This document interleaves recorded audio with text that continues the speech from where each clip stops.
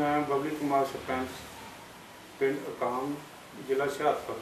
ਬਹੁਤ ਹਾਂ ਧੰਨਵਾਦ ਪਿੰਡ ਵਾਸੀਆਂ ਦਾ ਜਿਨ੍ਹਾਂ ਨੇ ਮੈਨੂੰ ਤੀਜੀ ਵਾਰ ਬਣਦਾ ਮੌਕਾ ਦਿੱਤਾ। ਹੈ